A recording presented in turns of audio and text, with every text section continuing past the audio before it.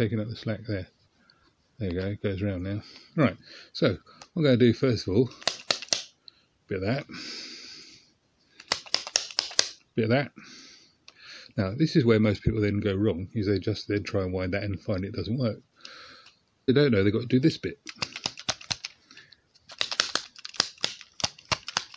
Got to hit it in all directions because what you're actually trying to do is try and lo loose out these hubs. You can see these hubs here.